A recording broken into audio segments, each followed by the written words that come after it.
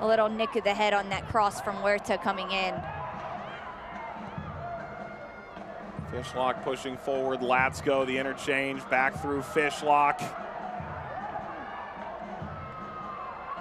Huerta crossing. Rapinoe! Megan Rapinoe's done it now! And put OL Reign ahead!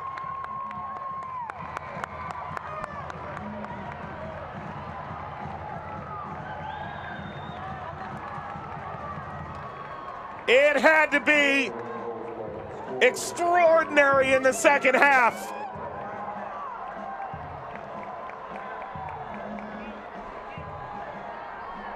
Two one OL Reign on the road. Megan Rapinoe takes a bow.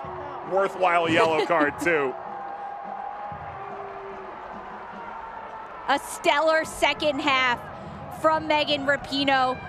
She gets the assist on the equalizer, and then this stunner of a goal. Huerta on the far side clips it back post. Rapinoe just jumping up. Looks like she gets that left footed volley in there just on the back side of Stanton. What a goal from Megan Rapinoe. And what a celebration to go with it. Where's my camera? There it is. Megan Rapinoe puts Orlando to sleep.